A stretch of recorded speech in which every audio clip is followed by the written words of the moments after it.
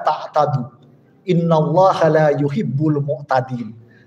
Sebelum tahun kedua Hijriah ini, perintah dalam Al-Quran, Rasulullah dan umat Islam itu jangan ngelawan. Walaupun diinjak-injak, disakiti, jangan ngelawan. Baru di tahun kedua Hijriah turun syariat jihad. Wahai Muhammad, wahai orang-orang yang beriman, waqatilul ladzina yuqatilunakum, lawan orang-orang yang menyerang kalian. Wala tadu, tapi jangan melampaui batas. Innallaha la yuhibbul mu'tadin.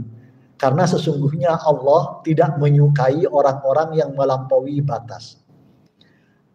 Setelah syariat jihad di bulan Rojab turun syariat tahwilul kiblah, memindahkan arah kiblat.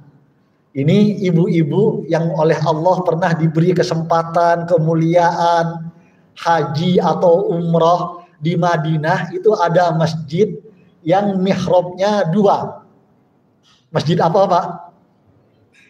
Masjid du kiblatain, masjid dua kiblat.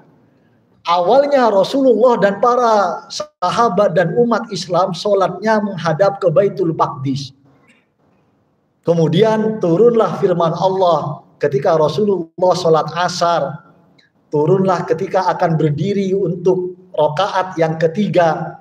Turunlah firman Allah di surat Al-Baqarah ayat 144.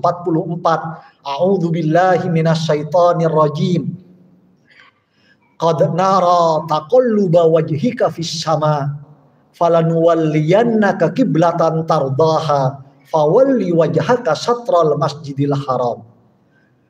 Aku sungguh telah melihat bagaimana wajahmu wahai Muhammad itu sering melihat ke langit. Memohon kemurahan Allah ini kapan kiblat ini bakal dipindahin dari menghadap ke Baitul Maqdis berpindah menghadap ke Ka'bah apa rahasianya umat Islam selama sholat menghadap ke Baitul Maqdis diledekin bu oleh orang-orang Yahudi. Ye ikut-ikutan sholatnya menghadapnya ke Baitul Maqdis. Baru kemudian dipindahkan. Apa rahasianya? Allah memberikan hadiah agar umat Islam itu punya jati diri yang kuat, punya kiblat sendiri. Setelah itu turun yang ketiga syariat zakat.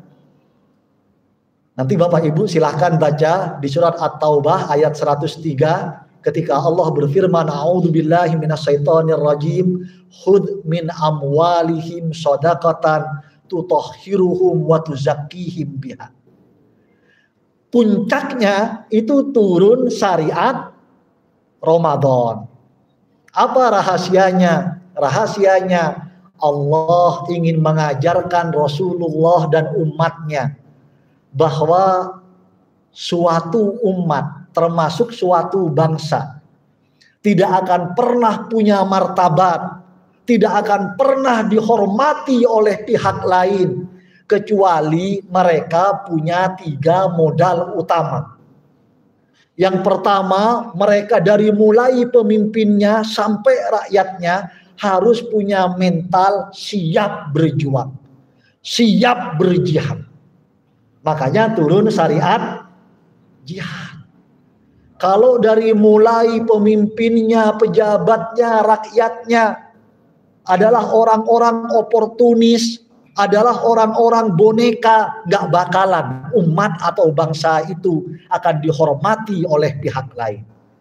Syarat agar kita punya martabat, punya kemuliaan, harus punya jiwa berjuang.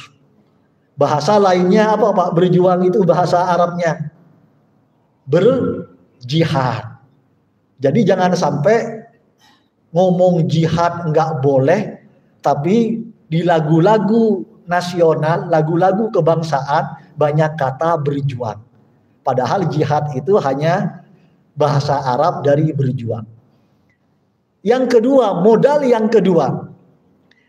Suatu umat, suatu bangsa akan punya kemuliaan, akan punya martabat kalau mereka punya jati diri yang kuat. Makanya Allah memberikan hadiah kiblatnya dipindah dari menghadap bait